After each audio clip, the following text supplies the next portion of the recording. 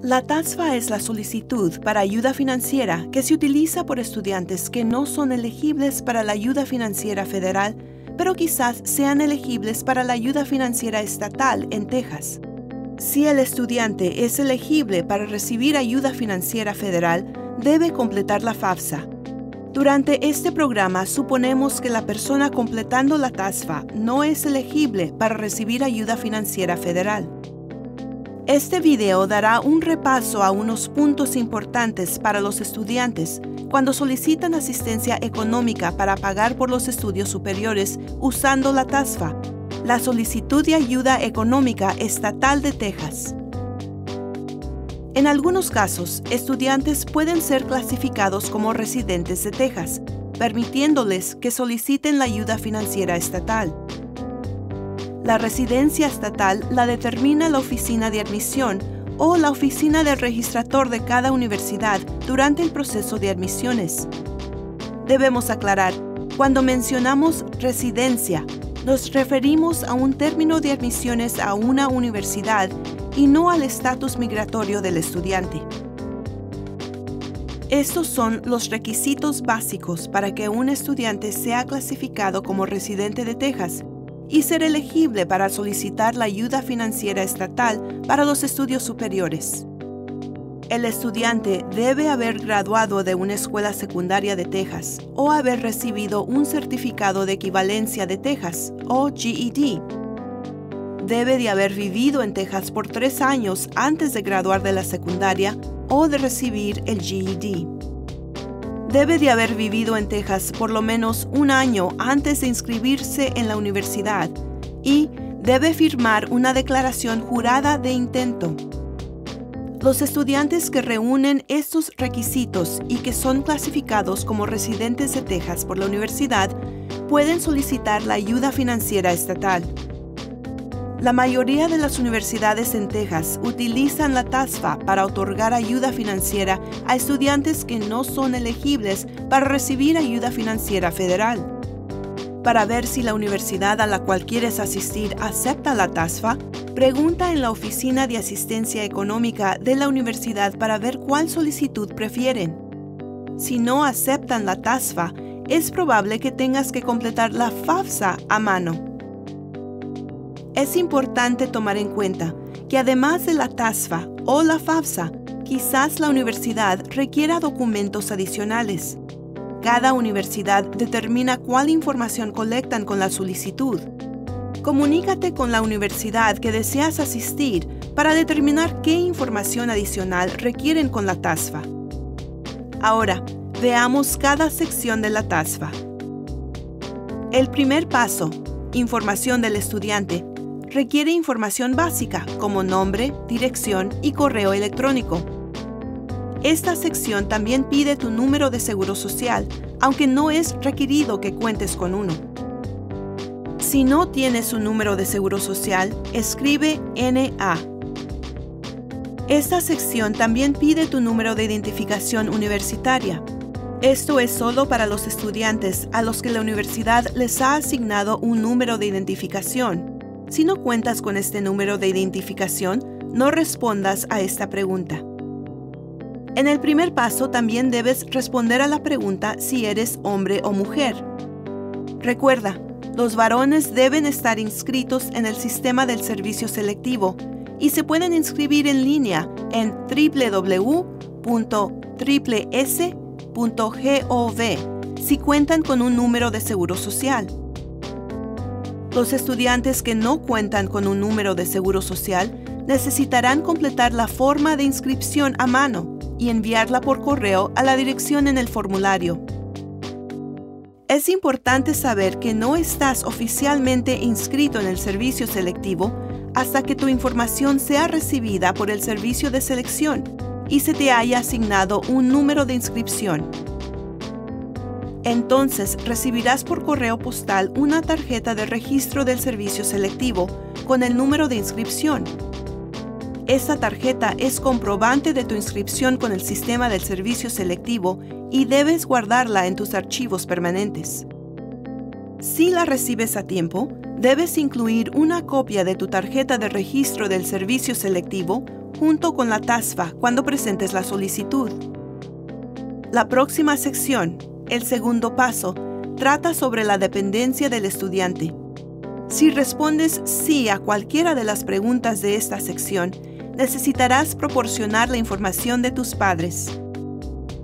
Pero si respondes no a todas las preguntas de esta sección, necesitarás proporcionar información de tus padres en el paso 3, aunque no vivas con tus padres.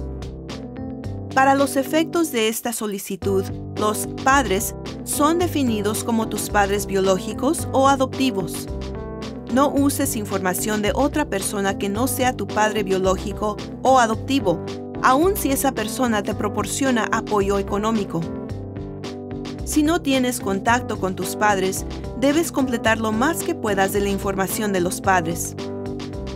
Recuerda, antes de presentar la TASFA, debes preguntar a un consejero de ayuda financiera del colegio que deseas asistir qué información adicional necesitas para presentar la solicitud. El cuarto paso es la sección de la información financiera.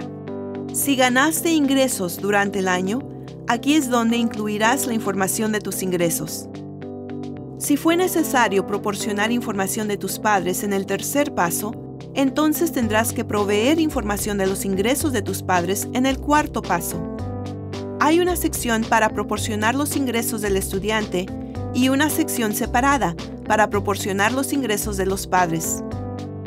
Es importante saber que el Servicio de Impuestos Internos, o IRS, requiere que tú y o tus padres presenten una declaración de impuestos si tus ingresos o los de tus padres son igual o más de los límites establecidos anualmente por el IRS.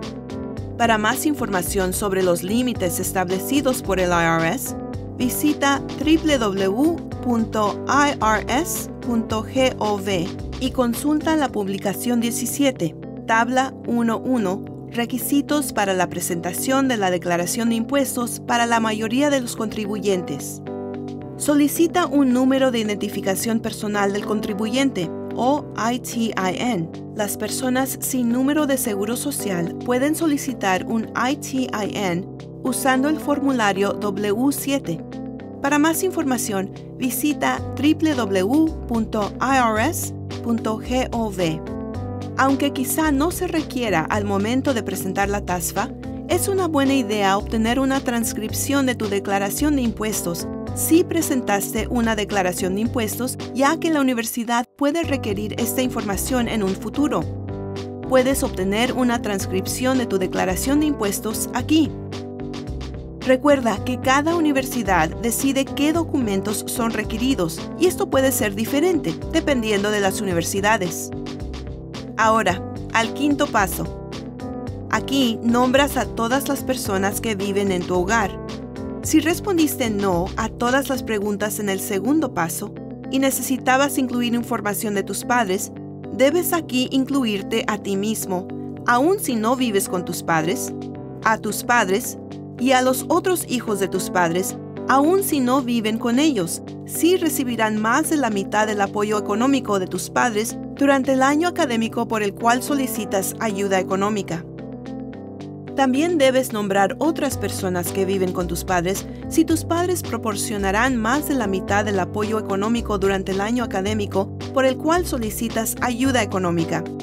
Por ejemplo, si un abuelo vive con tus padres y tus padres lo mantienen, si no necesitas proporcionar información de tus padres, debes entonces incluirte a ti mismo, a tu cónyuge si eres casado, a tus hijos si les proporcionas más de la mitad del apoyo económico, y también cualquier otra persona que vive en tu hogar y les proporcionarás más de la mitad del apoyo económico durante el próximo año académico.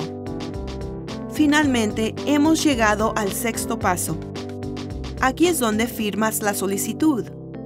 Si has proporcionado información de tus padres, por lo menos uno de ellos debe también firmar la solicitud. Tu firma certifica que la ayuda económica estatal que recibirás será utilizada solo para los gastos relacionados con asistir a una institución de educación superior y que la información que has presentado es completa y verdadera según tu mejor conocimiento. Para repasar, aquí están algunas cosas que debes recordar. Llena las solicitudes de admisión de las universidades a las que te interesa asistir. Confirma que estás clasificado como residente de Texas por las universidades. Confirma que las universidades a las que te interesa asistir aceptan la TASFA. Completa la TASFA. Haz copias de tus documentos. Firma la TASFA y, si es requerido, que uno de tus padres también la firme. Comunícate con las universidades para averiguar si requieren documentos adicionales. Haz copias de los documentos adicionales si se requieren. Envía por correo la TASFA con tu firma y las copias de los documentos adicionales a todas las universidades que te interesa asistir. Revisa tu correo postal y tu correo electrónico regularmente. Responde a cualquier petición lo más pronto posible. Dos a cuatro semanas después de mandar la TASFA, llama a las universidades para confirmar que recibieron tu solicitud y para saber cuáles son los próximos pasos. Si tienes cualquier pregunta, llama o envía un correo electrónico a la universidad. ¡Felicidades! y buena suerte en la universidad.